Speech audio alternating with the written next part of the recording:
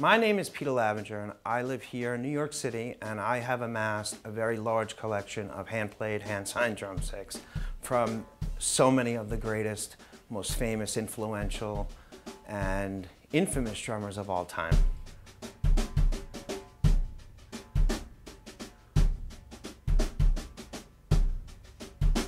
I have 1,400 drumsticks in the collection. I have been certified by and entered into the Guinness Book of World Records. I am in the 2002, 2004, and 2005 50th anniversary edition. So I don't buy sticks, I don't sell sticks, I don't rent sticks, I don't trade sticks, I get them firsthand from the drummers. Those first sticks, the ProMark multi-rods, the red, two-stripe red ones, are Dave Grohl's from Nirvana Unplugged. Those are the sticks from that show. They were given to me by Mike Dalkey, who was Dave's drum tech um, for the life of the band. So those are very special.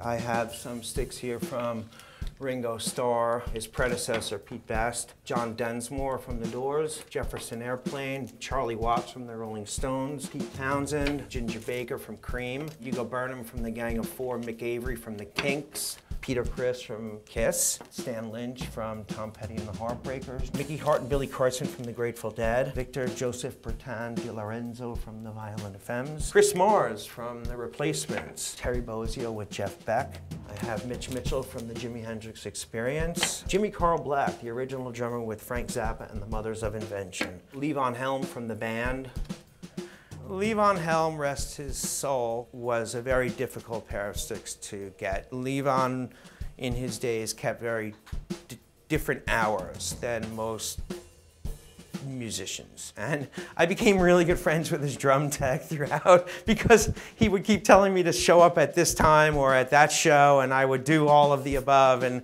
and Levon would still be asleep at five o'clock or you know until 7.30 and Butch and Jaimoe from the, the, the, the Allman Brothers and Neil Peart from Rush, Stewart Copeland from The Police, Clem Burke from Blondie, Patti Smith, Joan Jett, Pat Benatar and Creedence Clearwater Revival, Pearl Jam, Nirvana, Lou Reed, Jack Bruno from Joe Cocker, ZZ Top, Deep Purple, Jethro Tull, and Black Flag, Tommy Lee, Roger Waters' most recent concert when he performed The Wall, signed by the entire band.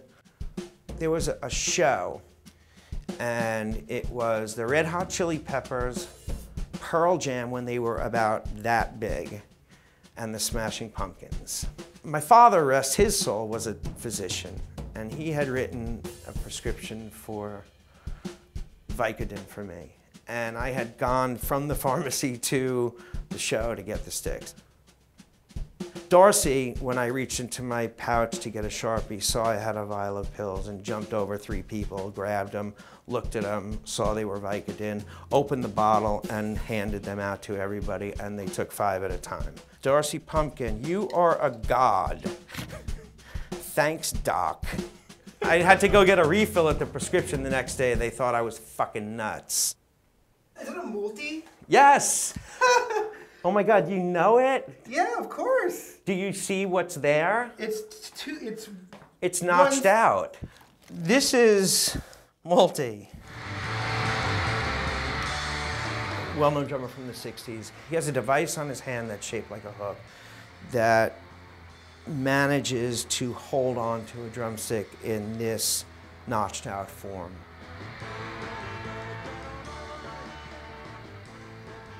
I am not a drummer. The only musical instrument that I can play is my stereo. Why are you drawn to, to drums then if you don't if you don't play? Because that was what they were throwing out at the end of the show. I suppose if they were throwing out Steinway pianos, I would be collecting Steinway pianos, which if I did, my apartment would have to be a lot bigger and I'd be a lot stronger than I am right now.